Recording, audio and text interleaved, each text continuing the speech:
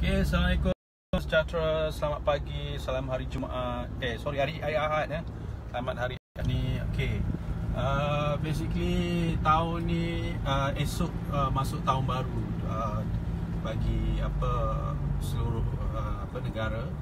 Uh, Jadi, kita dalam hari Khamis Atau hari Jumaat lepas Ada satu pengumuman baru lah Yang dibuat oleh uh, LPPSA ya ada lembaga pinjaman perumahan kerajaan uh, selaras dengan uh, pembentangan bajet tahun 2018 pada bulan Oktober oleh Datuk Seri Najib.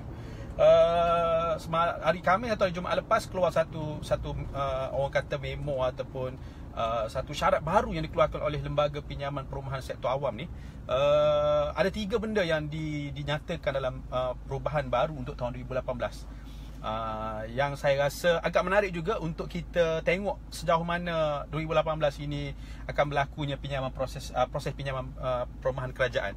Pertama, uh, perubahan yang dibuat uh, yang saya rasa cukup menggembirakan oleh kaki tangan awam adalah uh, yuran guaman boleh dimasukkan dalam pinjaman perumahan. Ini satu benda baru eh. sebab sebelum ni yuran pinjaman uh, yuran guaman perlu ditanggung sendiri oleh pihak customer uh, sama juga dengan loan bank pun kalau kita buat pro loan uh, untuk uh, perumahan bagi bank maknanya yuran guama ini perlu ditanggung oleh customer maksud istilah ditanggung oleh customer ni customer perlu bayar sendiri Ha, jadi bila perubahan untuk tahun hadapan yuran guaman ini boleh dimasukkan dalam pinjaman. Jadi maknanya anda tak perlu mengeluarkan duit belanja sendiri untuk membayar yuran guaman ketika proses permohonan pinjaman perumahan dibuat. Jadi bagi saya uh, membantu meringankan beban kaki tangan kerajaan.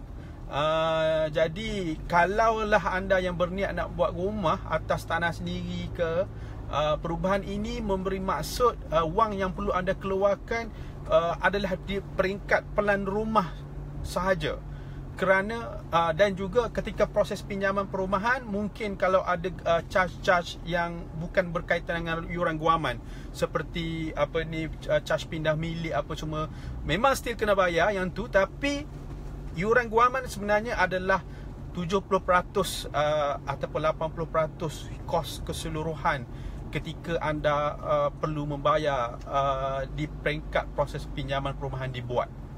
Jadi anda dah jimat around 70% about 80% juga uh, nilai orang kata yang wang yang perlu anda keluarkan di tangan. Ini satu perubahan baru. Saya rasa kita perlu sambut dengan positif uh, untuk kaki tangan kerajaan. Uh, dari sudut negatifnya sebenarnya anda perlu menambah loan anda itu. Maknanya apa ni uh, apa ni anda perlu menambah loan anda uh, apa ni dari sudut negatifnya uh, jadi bulan-bulan tu kemahal sikit. Okey soalan kalau dah buat tapi tak bayar lagi macam mana? Oh tu dah tak boleh lah.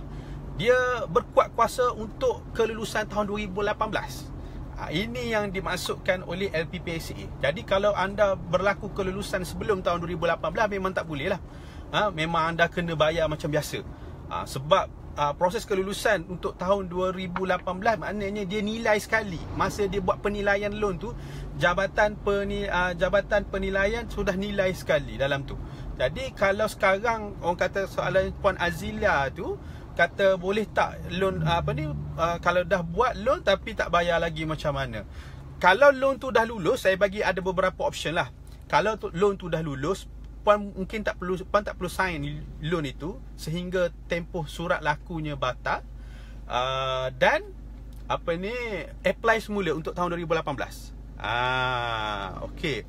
Tu tu perubahan baru uh, yang dibuat. Perubahan yang kedua berkaitan dengan uh, kak, uh, pasangan loan bersama. Uh, pasangan yang salah seorang kerja kerajaan salah seorang bukan kerja kerajaan. Sebelum ni kita tahu LPPSA ni uh, dia hanya boleh combine loan jika dua-dua kerja kerajaan. Uh, maknanya suami isteri tu kerja kerajaan. Kalau salah seorang bukan kerja kerajaan, kalau nak combine loan tak boleh ambil loan kerajaan. Uh, tak boleh ha, dua-dua kena ambil loan bank kalau nak buat combine. Tapi perubahan yang dibuat pada tahun 2018 adalah dua-dua boleh combine. Uh, kaki tangan uh, apa pasangan yang bekerja dengan kerajaan akan ditanggung oleh LPPSA jumlah loannya contohlah 300,000 bahagi separuh-separuh. 150,000 suami 150,000 isteri.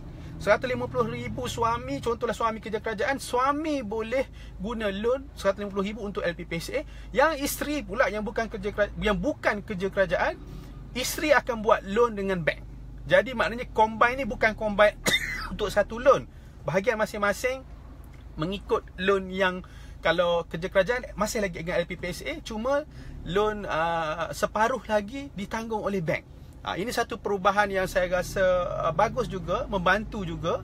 Uh, cuma buat masa sekarang mengikut LPPSA bank yang boleh buat kaedah ini setakat ini BSN dan mereka mungkin sedang dalam perbincangan dengan bank-bank lain uh, dan mereka akan update dari masa ke semasa uh, jika terdapat pertambahan jum bank yang menyertai skim macam ni. Maknanya skim combine antara loan kerajaan dan juga uh, kaki uh, pasangan yang bukan kerajaan. Ha, ini satu orang kata mungkin idea baru mungkin melihat feedback daripada uh, kaki tangan kerajaan sendiri yang mana ramai sebenarnya yang sebenarnya pasangannya bukan kerja kerajaan lah.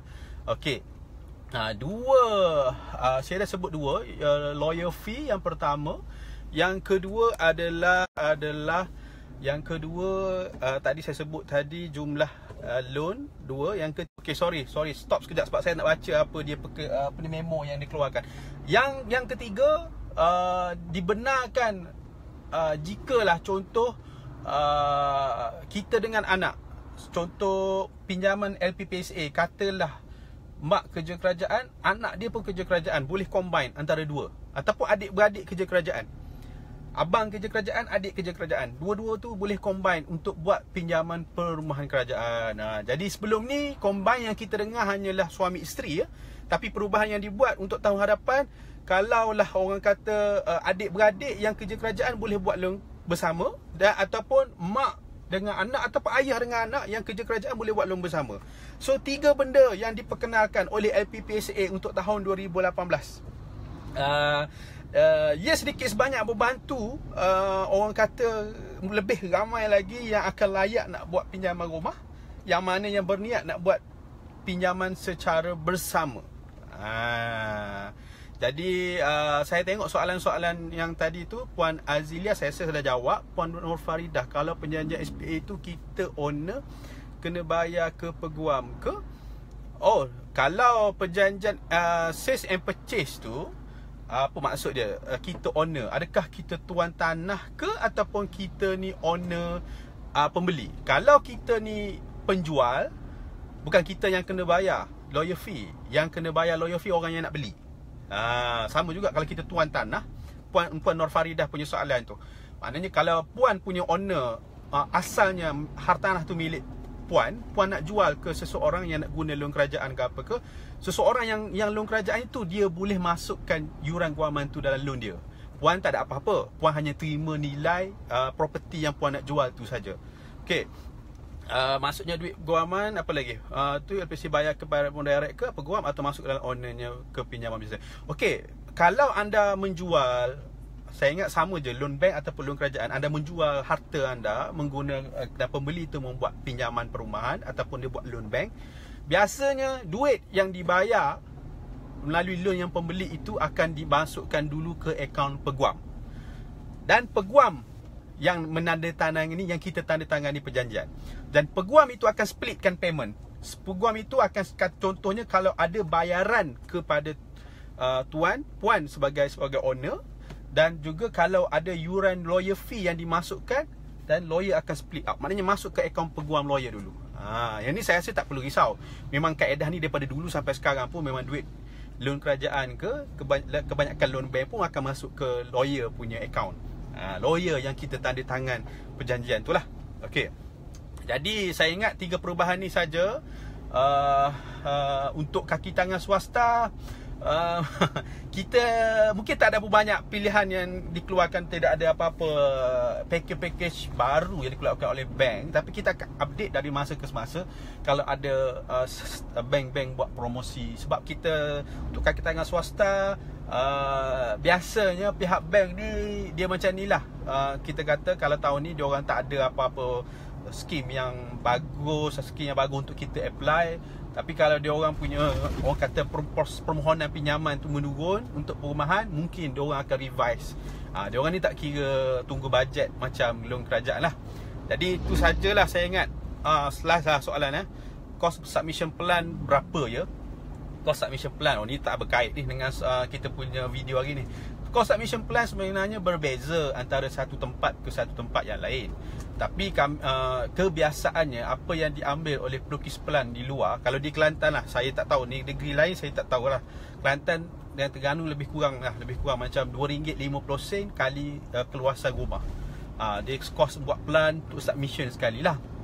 Tapi uh, dia bergantung Kalau di luar negeri Kelantan Terengganu mungkin lain harganya Jadi kita tak boleh nak Saya nak kata harga saya sebut ni sama dengan negeri luar Sebab kita tak ada pengalaman beroperasi di negeri selain Kelantan Terengganu Okey, uh, kalau suami dah buat loan kerajaan tapi nak buat loan kerajaan bersama isteri boleh ke? Okey, soalan Cik Zaha.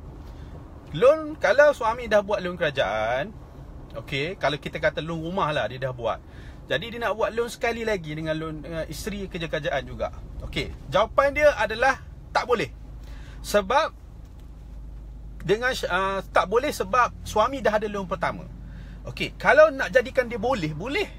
Nak jadikan dia boleh buat loan bersama dengan isteri Boleh kaedahnya Suami perlu tutup loan pertama dia uh, Yang dengan kerajaan Selepas dia tutup Suami dengan isteri boleh combine Yang si suami akan menggunakan loan kedua dengan pihak kerajaan Dan isteri kira loan yang pertama. Maks, uh, Maksud dia Maksud dia macam ni lah. Loan kerajaan ni dua kali je boleh guna. Uh, Tapi nak guna kali kedua Loan pertama tu kena tutup dulu. Tak boleh kata loan pertama masih ada kita nak apply loan kedua. Ha, itu konsep loan kerajaan lah. Ok ha, jadi uh, itu saja ok ha, mungkin saya akan share uh, saya akan share mungkin kita lagi ke? Uh, link untuk anda download. Apa perkeliling baru memorandum atau persyarat baru yang dikeluarkan oleh LPPC untuk tahun 2018 anda boleh baca sendiri dan syarat-syarat apa yang diminta oleh mereka. Ha, tapi biasanya benda ni anda tak perlulah. Kalau tanya saya anda anda boleh ambil take note lah. Tetapi biasanya bila proses nak buat pinjaman perumahan nanti Biasa lawyer akan advice lah Berdasarkan uh, lawyer yang anda lantik tu akan advice. Tapi kalau anda nak baca Kita akan bagi nanti uh, link dia untuk anda baca. Uh, Sebenarnya ada di laman web LPPCA sendiri. Cuma nanti kita share jugalah link di laman web LPPCA Yang berkaitan dengan pengumuman ini. Okay itu sajalah daripada saya. Saya saya nak ke tempat kerja. Terima kasih. Jumpa lagi. Bye bye